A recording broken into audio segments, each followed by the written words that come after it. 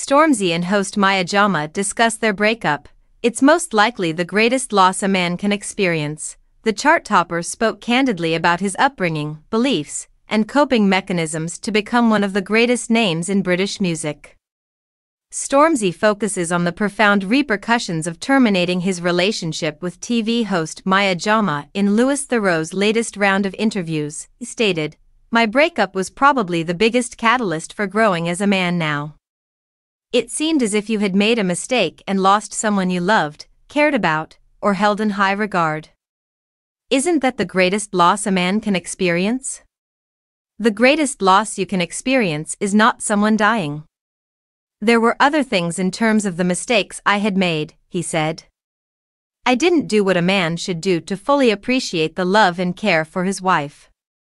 When neither was well known, Stormzy, 29, and Maya, 28, began dating in 2016.